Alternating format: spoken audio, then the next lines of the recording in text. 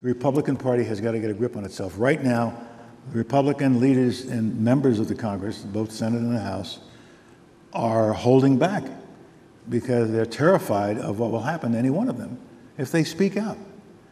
Will they lose a primary?